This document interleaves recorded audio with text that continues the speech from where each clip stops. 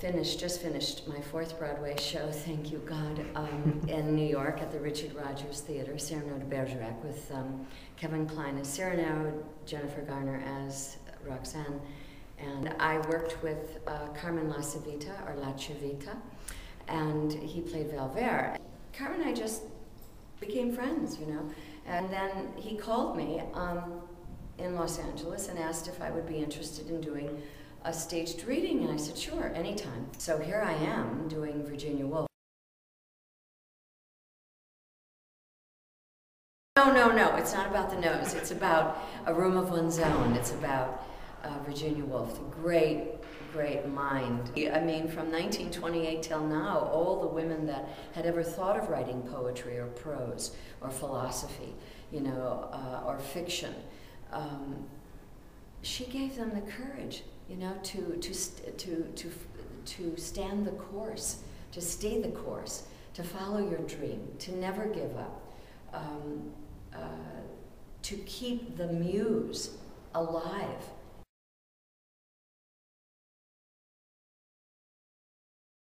I'm now just finishing up uh, Virginia Woolf's biography by her nephew, Quentin Bell.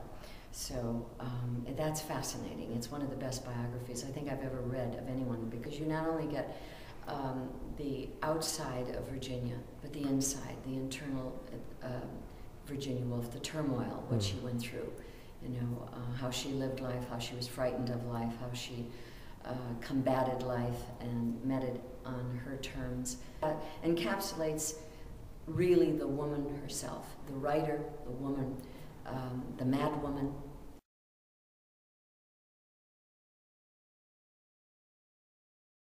dead mother on Providence. And I don't smoke. I always tell people I do not smoke, that uh, that was an herbal cigarette. And that it was written by John Masius, who had that in the character because, of course, she smoked four packs of cigarettes a day and then just, you know, dropped dead in that at her daughter's wedding. Um, and then that whole gimmick of bringing her back was such a brilliant idea.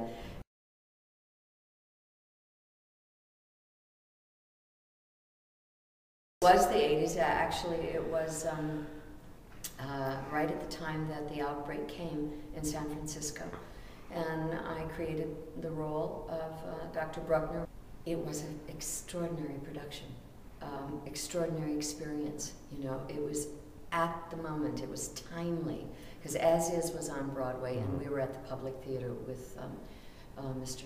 Mr. Joe Papp. I could never really call him Joe. A lot of people called him Joe. I, it was always Mr. Papp to me. And I did four shows for Mr. Papp, and The Normal Heart was the the um, the last show I did with Brad Davis and um, Larry Kramer. Absolutely worked every day with Larry Kramer and uh, worked on that script, which initially was four hours long. At a personal level, he was a very type A, intense personality.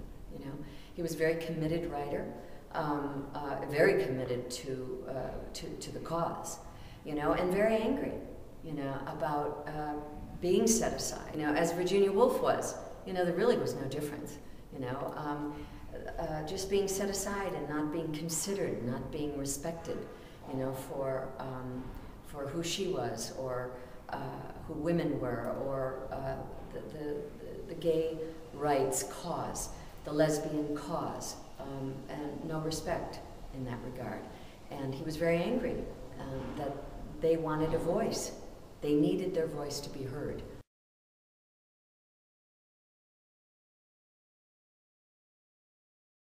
I played the little boy Edward in the first act and Victoria, uh, the lesbian uh, wife, in the second.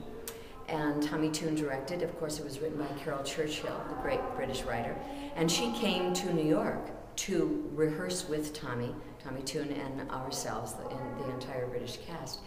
But that was an unbelievable experience because, you know, cross-dressing in 1982, this was groundbreaking, as was The Normal Heart, you know, so I was very grateful.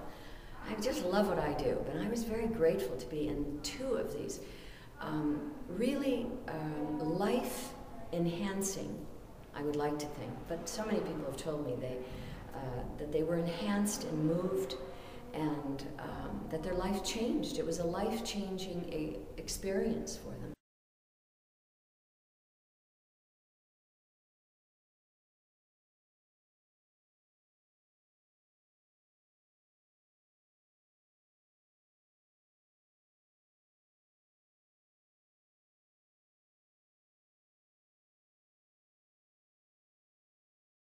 I didn't think the blonde hair, which I did as Lynda Hansen, I didn't think that was right for Virginia Woolf. So um, I am now a brunette, but actresses do that all the time, you know.